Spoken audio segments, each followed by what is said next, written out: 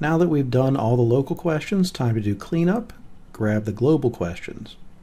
Question 9. This is a global question. It's asking us for a pair of speeches that can't be given at the same time.